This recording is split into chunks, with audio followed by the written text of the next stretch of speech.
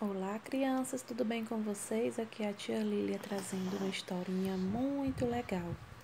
E o nome dessa historinha é A Criação a criação do mundo, do planeta, do universo. Como será que Deus criou tudo que existe? Nós vamos descobrir de uma maneira bem legal, bem tranquila, bem simples, ouvindo essa historinha, tá? Vamos lá?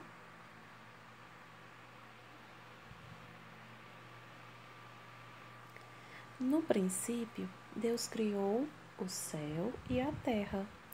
Ele criou a luz e a separou das trevas. Então, ele chamou a luz de dia e as trevas de noite.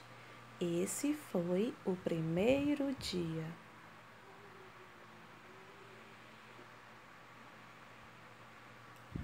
No segundo dia, Deus separou o céu das águas no terceiro dia, Deus criou a terra, os mares e também as plantas e as árvores frutíferas.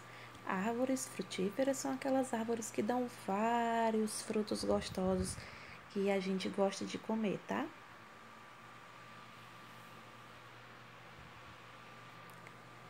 No quarto dia, Deus criou o sol, a lua e as estrelas para separar a luz do dia e a da noite.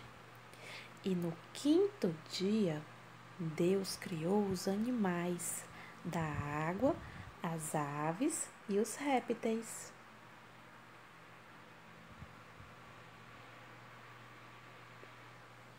No sexto dia, Deus criou diferentes espécies de animais e também o homem, à sua imagem e semelhança para dominar sobre os outros animais.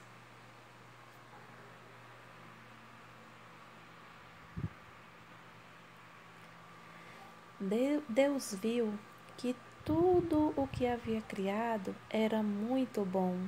Então, no sétimo dia, Deus descansou.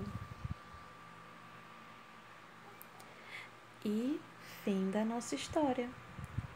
Gostaram da história, crianças? Olha quantas coisas lindas Deus criou para nós, não é?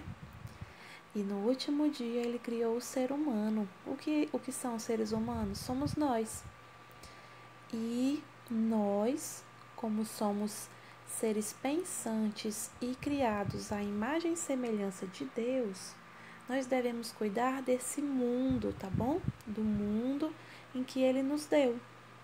Tá certo? E a nossa historinha de hoje vai ficando por aqui.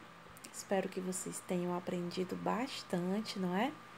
Foram, foram quantos dias de criação? Seis dias de criação. E no sétimo dia, Deus descansou. Tá certo? E vamos ficando por aqui. Um beijo, um abraço da tia Lília. Tchau, tchau. Que Deus abençoe cada um de vocês.